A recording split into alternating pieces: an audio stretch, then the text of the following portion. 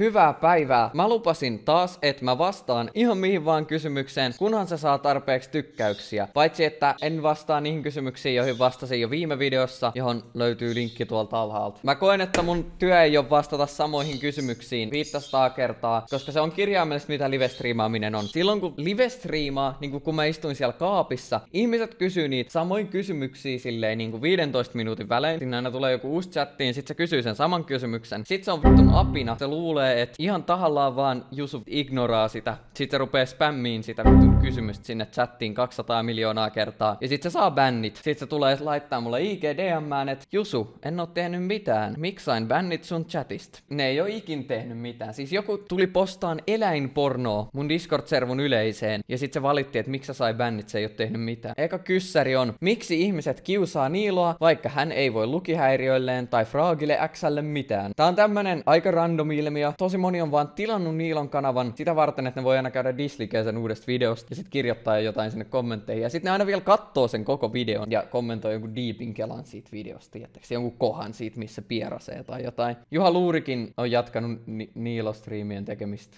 Ei kyllä sille ihan samalla tavalla kuin ennen. Ketä genost? Miten jotain voi genost, mitä Niilot 22 lempääläs tekee? Tää on mun analyysi. Kehitysvammaiset kiusaa muita kehitysvammaisia. Tää on huomattu. Tää on iso trendi. Sitten ne voi niinku kokea, että ne on parempia kuin joku. Niillä on liian helppo targetti. Mitä hauskaa siinä on? Ei siinä ole mitään hauskaa. Se ei voi tulla sulle takaisin kunnolla. Tää on mun analyysi, että rationaalinen ihminen ei välitä Niilo 22 tekemisistä niin paljon, että se jaksaa käydä dislikeen jokaisesta sen videosta, aina kun se uppaa. Niin, joo, mm, joo, mm. Jos kloonaat itses kymmenen kertaa, niin elääkö kaikki kloonit lopun elämäänsä täysin samalla tavalla? Ei varmaan elä. Jos olisi niin kuin eri aikajanoi, silleen, että ne ei ole niinku samassa todellisuudessa ne kloonit, niin sitten ne saattaisi elää samalla tapaa. Jos mä tietäisin, että musta on kymmenen kloonia, niin kyllä mä sit eläisin eri tavalla kuin ne muut jusut. Ja sit niinku niiden ajattelemiseen vaikuttaa se, mitä ne kokee sen kloonaamisen jälkeen, niin niistä tulee sit pikkuhiljaa niinku eri ihmisiä salee.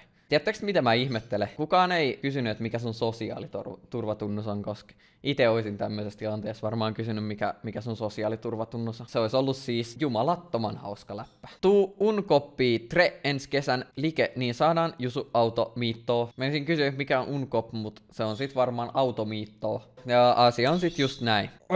Ja Onko Olavi sinunkin mielestä A-tier alfa? Jos olette seurannut mun videoita, kyllä te tiedätte, että Olavi on boss numero A, kun se on niin chilli koira, se ei sano mitään, se vaan niinku chillaa paskaksi. Se vaan, sä tuot sen tänne, sit se vaan on tossa koneen vieressä, se vaan chillaa paskaksi. Sitten kun menee itse nukkuun, niin se tulee vaan sun jalkapäähän nukkuun. Ja sitten kun mennään lenkille, niin se juoksee tuolla ihan tuhatta ja sataa vaan. Sitten ei niinku mitään vaivaa, se vaan chillaa ja on kiltti. Saattaa kyllä joskus varastaa safkat, mutta se on vaan koira. Ei voi liikaa olettaa Olavilta. Kyllä se on ihan boss jätkä hei. Tee video, missä juot 24 back karjalaulutta. Kuulostaa aika boring. Joku sanoi, että tee semmonen haaste, että juo tunnin välein koko vuorokauden ajan. Mä en tiedä teistä, mutta kuulostaa aika helpolta. Mutta eikö se ole aika boring juoda jotain kaljaa? Kaljavideoita. Kuka vaan voi kuvaa kaljavideoita? Aika boring. Pitäis kuvaa kunnon tuu LSD-trippi-video. Pitäis kuvaa ketamiiniöveri-video. Hei Mr. Tuomo, milloin tulee ketamiiniöveri-video? Jos elämä on niin lyhyt, miksi teemme asioita, joista emme pidä ja jätämme tekemättä asioita, joista pidämme? Ihan oma syy. Siinä siinä niin välttelet läksyä ja katsot Jusun videoit nyt.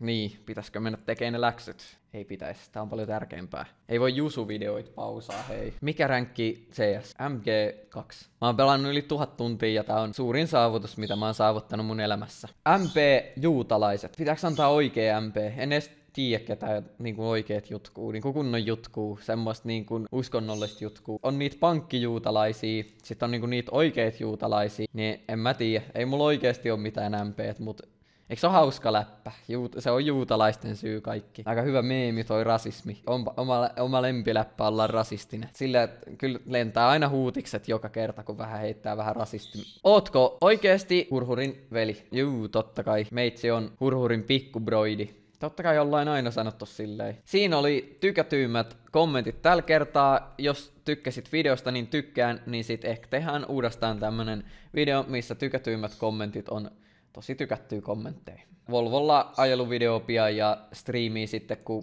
Genost